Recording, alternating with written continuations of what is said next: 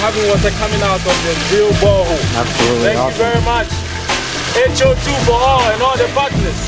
God bless. This is a dream come true.